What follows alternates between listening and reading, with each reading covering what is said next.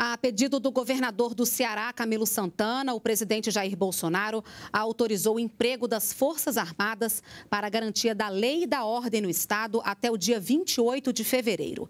O decreto foi publicado no fim da tarde desta quinta-feira em edição extra do Diário Oficial. O presidente fez ainda um apelo pela garantia jurídica aos militares que vão atuar na missão. Com o decreto, o Ministério da Defesa vai ficar responsável por definir o comando da operação e vai assumir o controle dos militares e dos equipamentos que pertencem aos órgãos de segurança pública federais e estaduais. O presidente defendeu a presença das Forças Armadas e pediu garantia jurídica aos militares que vão participar da missão. A gente precisa do parlamento para que seja aprovado esse prudente de licitude.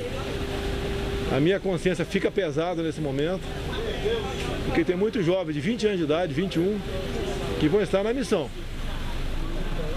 Estão cumprindo uma missão que se aproxima de uma de guerra e depois, caso tenha qualquer problema, pode ser julgado com lei de paz.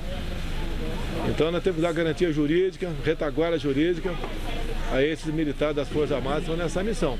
Duas tropas da Força Nacional de Segurança Pública chegaram nesta quinta-feira ao Ceará. A Força Nacional vai reforçar a segurança do Estado, que passa por uma greve de policiais militares. Integrantes da Polícia Federal e da Polícia Rodoviária Federal também vão ajudar na segurança da população. Os integrantes da Força Nacional vão atuar no Ceará por 30 dias, mas a data pode ser prorrogada se houver necessidade. Na quarta-feira, o senador licenciado Cid Gomes foi atingido com dois tiros na altura do ombro quando tentava entrar com uma retroescavadeira em um bloqueio feito por policiais grevistas no 3 Batalhão da Polícia Militar de Sobral, no interior do estado. Os tiros estão sendo investigados.